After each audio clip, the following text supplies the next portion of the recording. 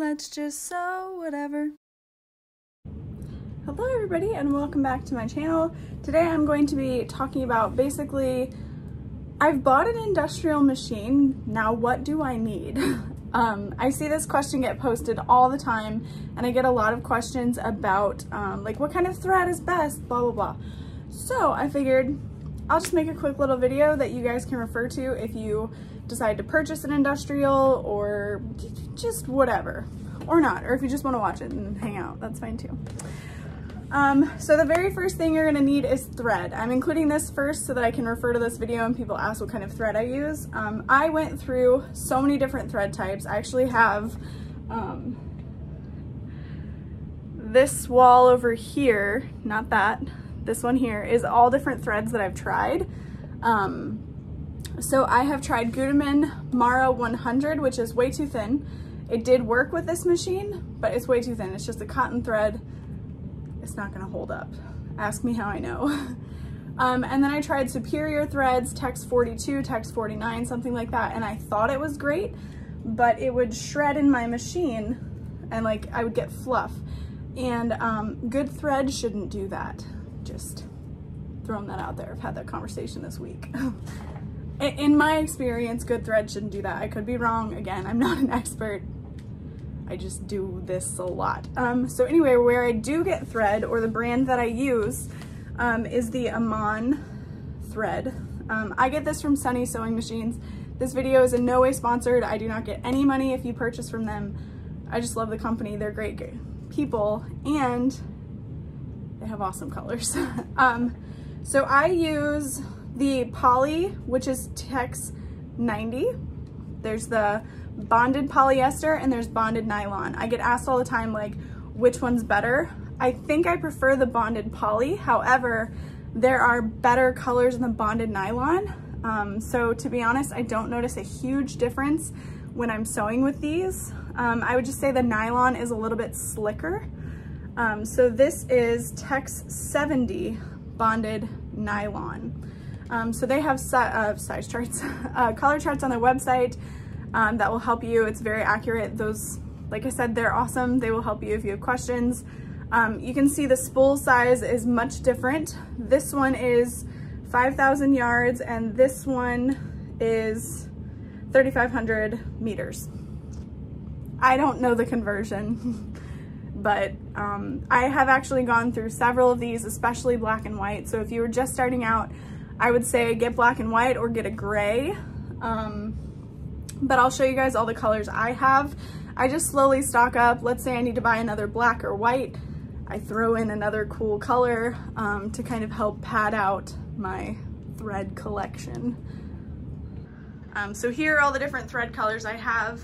Every once in a while they'll have a variegated rainbow that they stock. Um, that one is hard for them to come by, but it's really fun to sew with. Um, and I pretty much just gravitate towards colors that I have a lot of vinyls for or that I notice I tend to use a lot. Um, those are what I will purchase.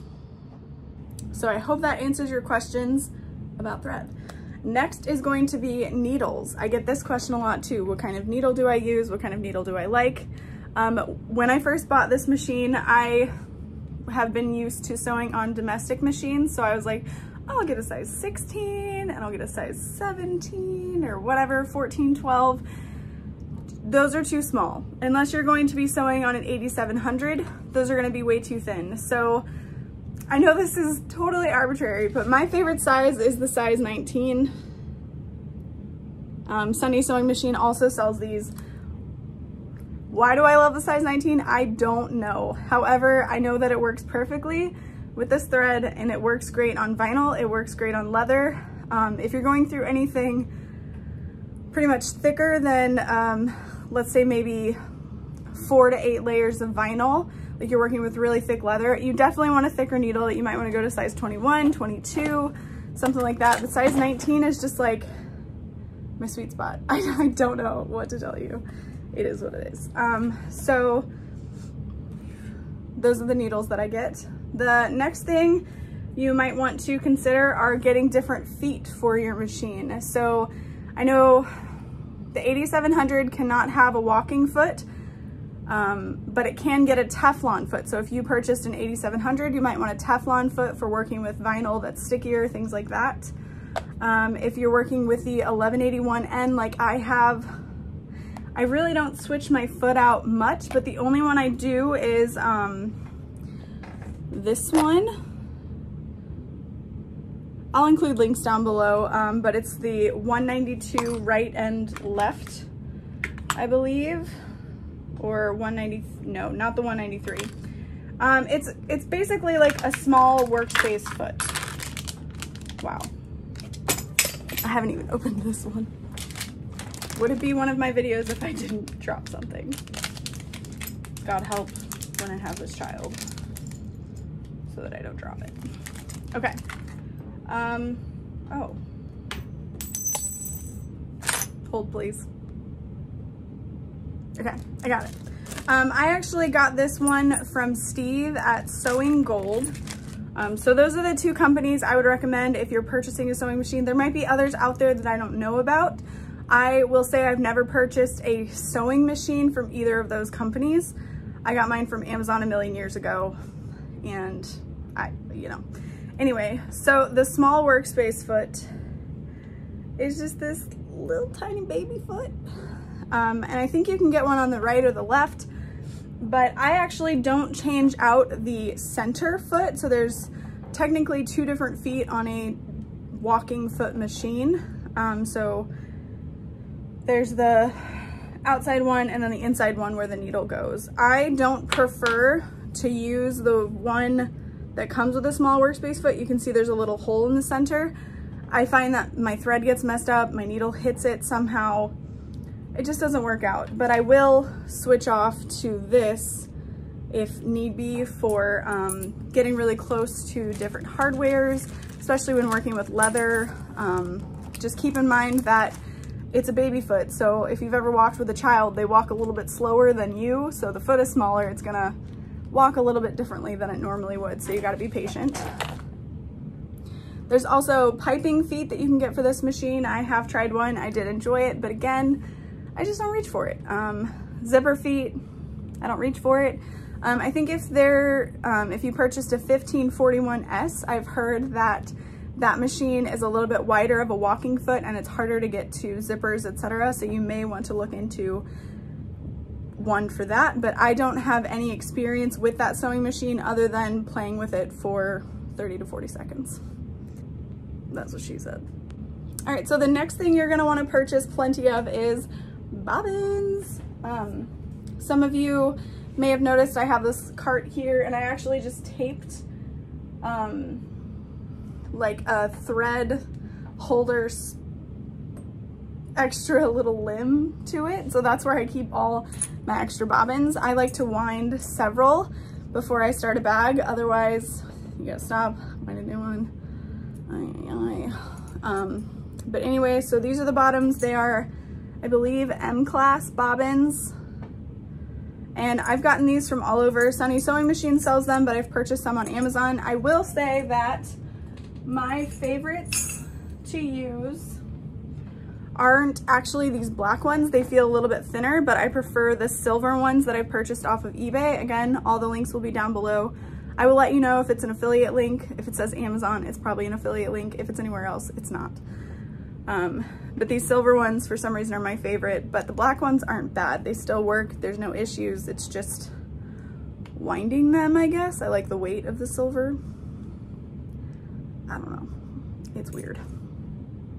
All right, so the next thing you're gonna need is oil, sewing machine oil. When I bought this machine four years ago now, is it four years ago?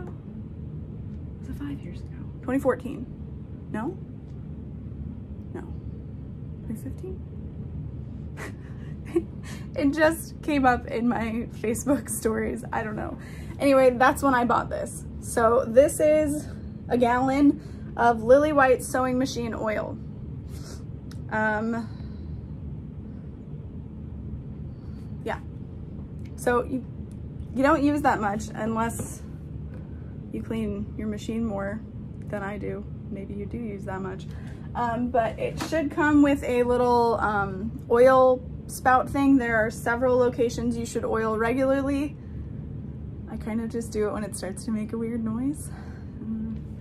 Um, but that is the main thing you're going to want to help maintain the health of your machine.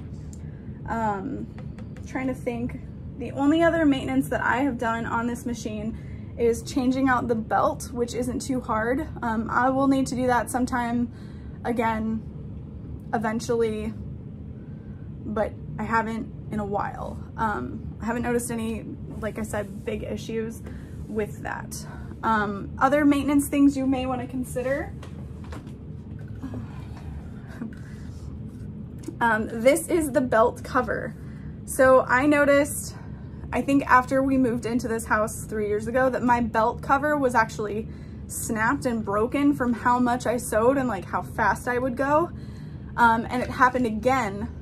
And so I bought this from Steve from Sewing Gold maybe a year and a half ago and I still haven't changed it because it isn't that big of a deal to me anyway. I don't know if it'll change the noise, but I will give you guys a little tour of the underneath of this machine as far as that goes. Um, so the belt, I've changed that. And then where my thread goes through, um, that has broken on me before and I just contacted Steve with Sewing Gold and he sent me, well, he sent me an invoice for a replacement part. Um, so I, I love working with Steve um, at Sewing Gold and then there's a Steven at um, Sunny Sewing Machines as well, Sam, etc., and their whole team. So I would just go, if, if you're purchasing a machine, I would go with who is closest to you as far as shipping cost. That's a big thing. Or, you know, whoever you connect with. Go with that. Um, the very last thing that I would say that you need, you don't really need this, um, but I think they're awesome, are these machine magnets that I design and sell. Listen, you can turn anything that's metal into a machine magnet. I will leave a link down below with where I purchased these magnets so that you don't feel obligated to have to purchase through me. Um, but these are super fun. They're really strong. You have to ask for your items back, but um, I use these snips all the time. These are the Tula Pink Easy Snips. There are also some from Famore. Leave the link down below. Um, so I love having them on a magnet that I can just clip right there. And then this is my Tula Pink Seam Ripper, which I use to put holes in my fabric for magnets, nameplates, different hardware, things like that. And I just love that they're right there. Um, so I super glued those magnets onto essentially enamel pins and they're super strong. Um, yeah, I feel like that's the main things. Like I tried to sit here and think like, what could I not live without? What couldn't I live without? Did I word that right? Maybe, I don't know. Um, but those are the main things. Those very important, especially getting started. So if you just purchased this machine, I would say the very first few things, you don't need the magnet. Um, just saying it. Um, those are the things you would need the most.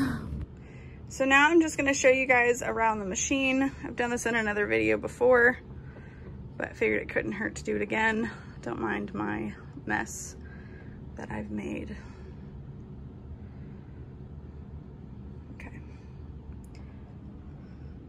Okay. so this is the walking foot mechanism. Mine is much dirtier than it used to be. You can see there's the middle foot, outer foot. Those are not the technical terms. That's just what I'm calling it. And then this is a tension knob. This is a tension knob. And these are foot pressure knobs. Some machines may look a little bit different depending on where you purchase it from. Um, these little holes here, you wanna add oil to every once in a while to help filter it throughout your machine. This is how you change your thread. You'll notice that you can't move it down. You need to have your reverse lever uh, activated and then you can turn it. So if it seems tough, that's why. Um, this is your hand wheel.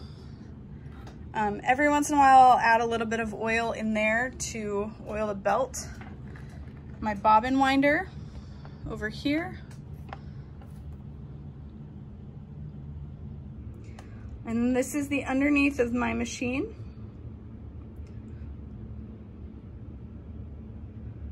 So that is my servo motor. It is a friendly brand. I have no idea what that means. You can see that's where I have it set to.